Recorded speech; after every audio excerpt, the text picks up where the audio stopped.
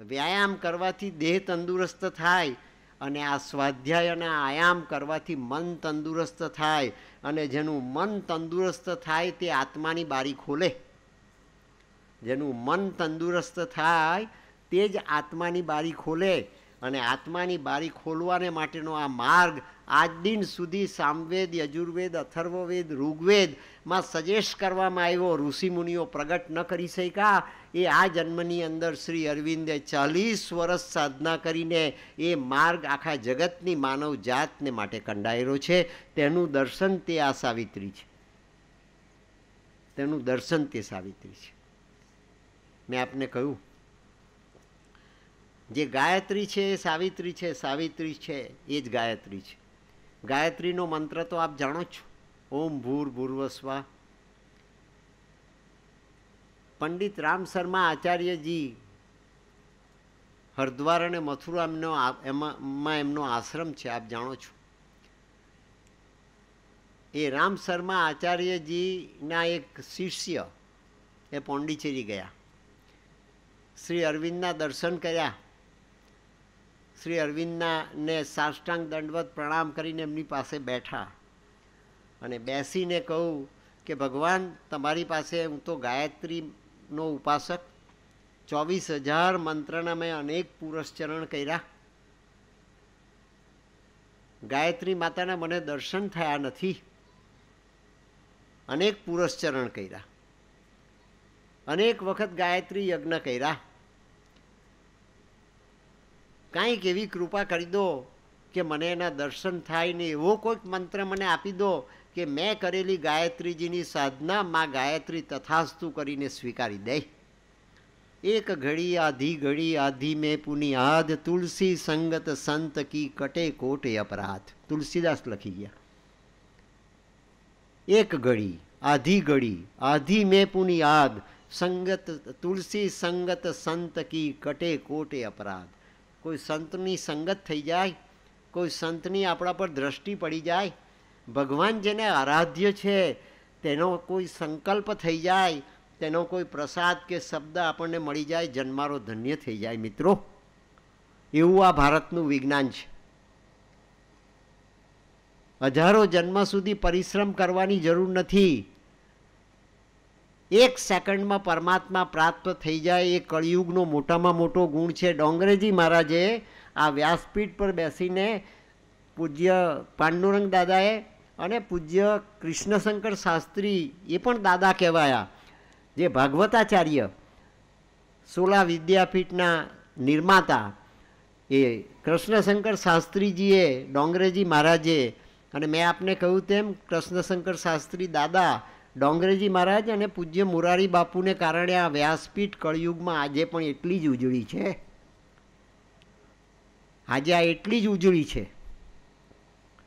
એ વ્યાસપીઠ પરથી ડોંગરેજી મહારાજ સમજાવતા, પોથીની સામે જોતા, ડોંગરેજી મહારાજ એમ ઓડિયન્સમાં નહીં જોતા. કોણ આવ્યા કેટલા આવ્યા કોણ વીઆઈપી આવ્યા કયો મિનિસ્ટર આવ્યો ને કયો ઉદ્યા ઉદ્યોગપતિ આવ્યો. એ ડોંગરેજી મહારાજ જોતા નહીં. એ તો ભાગવતજીની પોથીની સામે જોઈને આંખમાંથી એને આંસુ સરતા અને મારો લાલો મારો લાલો મારો લાલો કરતાં કરતાં લાલાના ગુણગાન ગાતા ગાતા એણે આ જન્મારાની અંદર ઋષિત્વ જીવી બતાવ્યું. ઋષિત્વ જીવી બતાવ્યું. એ ડોંગરેજી મહારાજ સમજાવે છે. ભાગવતજીમાં કલ્પનું દ્રશ, દ્રષ્ટાંત રજૂ કર્યું છે. કલ્પોનું દર્શન રજૂ કર્યું છે. યુગોનું દર્શન રજૂ કર્યું છે. ચારે ચાર યુગની ગણિતની ફોર્મ્યુલા રજૂ કરી છે અને ત્યાં ક્ષણનું, પળનું વિજ્ઞાન પણ બતાવ્યું છે. આંખનો પલકારો વાગે એટલો જે સમય છે એ એક પળ છે. એ આંખનો પલકારો વાગે, પલક ઝપકે એટલો સમય તેને પળ કહેવામાં આવતી આપણા દેશમાં ને આપણી સંસ્કૃતિમાં.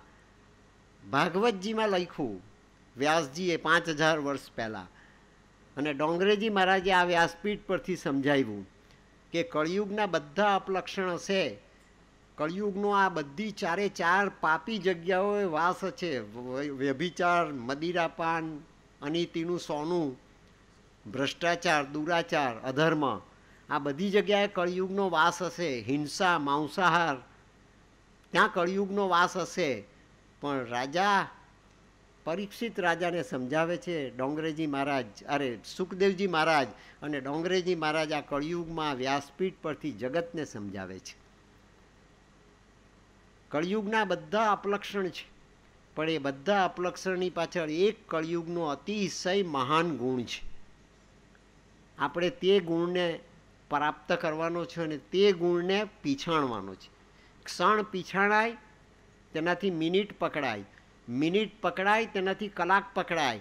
કલાક પકડાય, તેનાથી વરસ પકડાય. અને વરસ પકડાય, તેનાથી જન્મારો પકડાય. સમય પકડાતો નથી. જગતનો મહાન વૈજ્ઞાનિક હમણાં જ ગુજરી ગયો સ્ટીફન હોકિંગ્સ કરીને.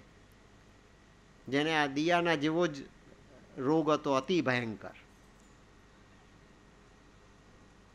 એનાથી બોલાય નહીં ખવાય નહીં, પીવાય નહીં, આખું શરીર વ્હીલ ચેર પર નટ અને બોલ્ટથી ફિટ કરી દીધેલું. એના જર્મન મિત્રએ. પણ તે છતાં વૈજ્ઞાનિક હતો.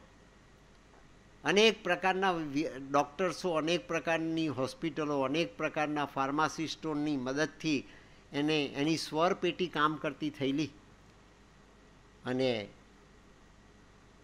ત્રણ સેકન્ડે એ બે શબ્દ બોલી શકે. ત્રણ સેકન્ડે એ બે જ શબ્દ બોલે.